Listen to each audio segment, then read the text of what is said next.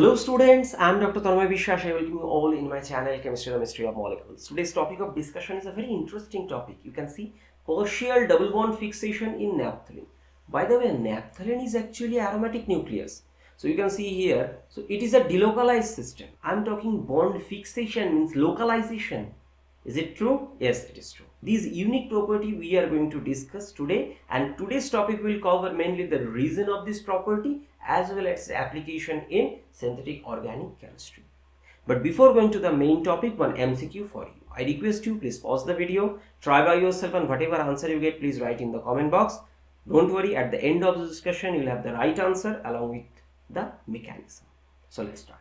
Now actually I'm talking the bond fixation of naphthalene but we know a common thing that both benzene and naphthalene both are aromatic means delocalized according to Huckel rule. By the way, what is Huckel rule? Huckel rule is nothing but a condition for aromaticity means a compound will be aromatic if the compound is cyclic, it is planar, each atom must have one p orbital and they are in conjugation together and if it has 4n plus 2 number of pi electrons, it will be aromatic means you can say it's a stable or if it has 4n number of pi electron, it is anti-aromatic means it's unstable. So this is the basic of rule. If you want to learn further, I have already uploaded a dedicated lecture on it. Please visit. Now, according to this Huckel rule, both naphthalene and benzene, they are aromatic. Here, N value is 1 and here N value is 2. Obviously, I am talking 4N plus 2 rule. But why naphthalene has this partial bond fixation? In order to understand this, first let's understand about benzene. If you look at benzene, if I do the numbering, it's it's by the way student practice this numbering. It is very helpful and draw structure by yourself.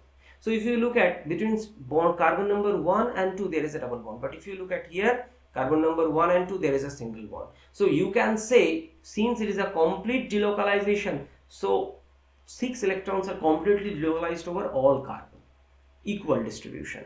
So it's a complete delocalization. But if you look at naphthalene in structure number 1 both ring ring number 1 and ring number 2 both are aromatic. But if you look at canonical form 2 in this case ring 1 is aromatic but ring 2 no not because look at here. In this structure number 3 ring 2 is aromatic but ring 1 is not. So from these you can clearly say sir this ring has more stability because both are aromatic so it will have more contribution Consequently, the bond distance is expected to reflect by this canonical form. Means this bond is expected to be double bond type, this bond is expected to be more single bond, this is more double bond, this is more single bond. This. Let's see about the real proof of this statement. Actually, this is CC bond length. By the way, if you say carbon-carbon, single bond distance is 154 picometer if you say carbon-carbon double bond, it is 133 picometer. So from there you can understand that if the bond distance is higher than 139, so you can say it has more single bond character with respect to benzene. Look at here 142 and 140. So they have more single bond character. But if you look at the other one, I mean here 137 and 133 this bond they have more double bond character. Means you can say the pi electron which is actually expected to be delocalized because of aromaticity is not completely delocalized. It has some localization. Here here and here. So this is the explanation as well as proof that why naphthalene has partial bond fixation or electron localization. This is because of resonance and stability of the both ring for aromaticity. And by the way, if you say resonance stabilization of benzene, actually resonance stabilization of benzene 1 is 36. But if you look at resonance stabilization of naphthalene, that is less compared to 2 multiplied by 36 and 72. So it means that its resonance stabilization is not that much higher like the benzene and this thing will be utilized in organic chemistry and I shall explain today about four name reaction where you can see proof of this concept or application of this chemical behavior.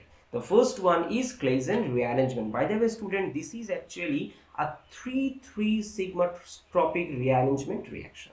What happened? If you take benzene, this allyl, you can say phenyl, eh, allyl ether of phenol So if you take this one, so both sides, this ortho position and this ortho position have equal probability for rearrangement. I mean this alkyl group can migrate any one of them and it can result in ortho allyl substituted phenol derivative. Agree? Similarly, if you say that sir, okay, equal probability on these two position, then these naphthalene also have two position, these one and these one both have equal probability. Yes, both have the two odd positions or ortho position, but here they doesn't have equal probability. Why? Because for Claisen rearrangement, the pi bond is essential and from the previous example I have shown the pi bond localization is here. So consequently these allyl group will shift from here to here. So this is this position by the way called alpha position. This is beta position. So alpha allyl substituted. This alpha allyl beta naphthol is the product but the other one this position is not produced. So this is one of the proof that partial bond fixation of naphthalene which produce which results in selectivity on this Claisen rearrangement. Agree? Next example is diazo coupling reaction. So if you look at this is this molecule is called beta naphthol because this is position is alpha, this is beta and it can uh, participate in resonance. By the way, I told that this bond has more double bond character so it can undergo resonance. It can come here, it can open. So what will be the product? This now you can see that this position, this alpha position has more electron density. So you can say this is electron rich. Consequently, it can act as nucleophile. Actually, it does. And this diazonium salt, benzene diazonium salt, if you say this is pH, these nitrogen has a triple bond carrying plus charge. Consequently, here what will happen? The carbon center, these from here, the attack will happen. So you can expect that these one will react with this beta naphthol this way. So this is OH double bond. This lone pair will push here and these will attack there. And it will come. Now after that what is the product here? This one is the product and next step what it will undergo? So there will be a proton elimination. So this proton will go it will come here it will be open up and it will produce this one what is the driving force driving force is student aromaticity means stability so reaction will happen and will produce this alpha diazo substituted means as a azo dye compound so alpha substitution even if you look at what is this mechanism so if you look at here similarly one intermediate also produce like the previous one so this is a double bond O hydrogen and there is this allyl group. So what is the driving force for this reaction? Actually this proton goes from here to this oxygen and this bond comes this. So it is actually a keto-enol tautomerism and equilibrium prefers to remain in the enol site or naphthol site. Why? Because this compound is aromatic, stable. So same logic for both the example. So now let's go to the next example that is ozonolysis. By the way student, uh, I have already discussed previously details on ozonolysis. I am going very fast. So ozonolysis means breakage of carbon-carbon double bond by ozone. So you can say the logic sir double bonds it will be broken this way. One side one oxygen will be added, another side another oxygen will be added. So in this way four oxygen will be added. Fine. Now ozonolysis means first thing you take ozone in carbon tetrachloride and second step obviously zinc dust in water Otherwise, the produced hydrogen peroxide in this reaction may oxidize the carbonyl compound further. So here, this side is aldehyde means 1,2 benzene dialdehyde and the other side is glyoxal. This indicates the fixation of double bond. Agree? Now you may ask one question, sir, why this ring doesn't uh, get undergo ozonolysis further? First of all, its electron density is less.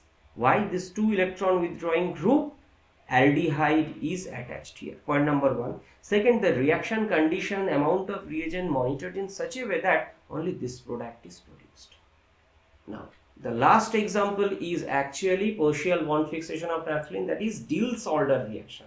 By the way Diels-Alder reaction is actually 4 plus 2 cycloaddition reaction. Okay.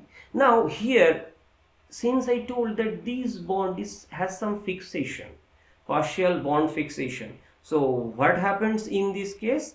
In this case you can consider that okay this undergo there it comes and it so in this way a new six member ring is produced. By the way you may think that sir there was a naphthalene this part so it has aromatic. So aromatic stabilization is destroyed during this Diels-Alder reaction. Student here the aromatic stabilization is not that much like benzene. As i told some time before the aromatic stabilization is naphthalene is lesser compared to 2 benzene. So it it here this partial bond fixation results in this cycloaddition reaction. So this is the unique reactivity of naphthalene because of this partial double bond fixation.